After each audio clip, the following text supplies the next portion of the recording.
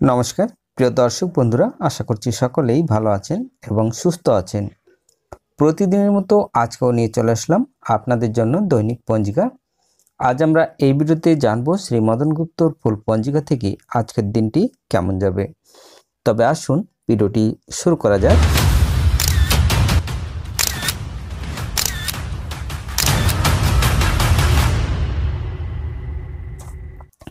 আজ ভাদ্র মাসের ছয় তারিখ এবং আগস্ট মাসের তেইশ তারিখ শুক্রবার। আজ সূর্য উদয় হবে পাঁচটা আঠেরো মিনিটে এবং সূর্য অস্ত যাবে ছয়টা দুই মিনিটে। চতুর্থী দিবার তিনটা বাইশ, রেবতী নক্ষত্র রাত্রি একটা একত্রিশ সূর্যোগ দিবা তিনটা তেত্রিশ, বাল্যবকরণ দিবা তিনটা বাইশ গতে, কৈলব্যকরণ রাত্রি দুইটা নয় গতে, তৈতিল্যকরণ।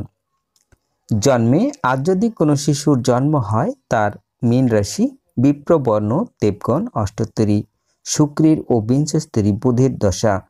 রাত্রি একটা একত্রিশ গতে মেষ রাশি ক্ষত্রিয় বর্ণ, মতারম্ভে বৈশ্য বর্ণ, বিংশস্তরী কেতুর দশা।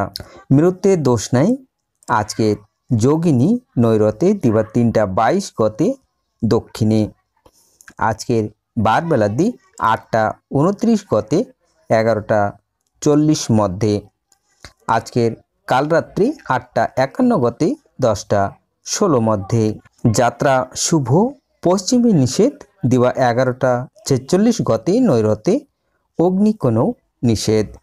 দিবা তিনটা বাইশ গতে মাত্র পশ্চিমে নিষেধ। দিবা তিনটা তেত্রিশ গতেই যাত্রা নাই, সন্ধ্যা পাঁচটা সাতান্ন গতে পুণ্যযাত্রা শুভ, পশ্চিমে নিষেধ। রাত্রি একটা একত্রিশ গতে দক্ষিণেও নিষেধ। আজকের শুভকর্ম নাই। বিবিধ বা শ্রাদ্ধ, চতুর্থীর একদিষ্ট ও সপিগুণ এবং পঞ্চমীর সপিগুণ, দিবা আটটা তেতাল্লিশ মধ্যে নষ্ট চন্দ্র দর্শন নিষেধ। আদ্য কলকাতায় চন্দ্রাস্ত, দিবা আটটা তেতাল্লিশ গতে এবং চন্দ্রোদয়, রাত্রি আটটা আটত্রিশ গতে। ব্রাহ্ম সমাজে ভাদ্র উৎসব। ব্রাহ্ম সমাজ প্রতিষ্ঠা দিবস ছয় ভাদ্র।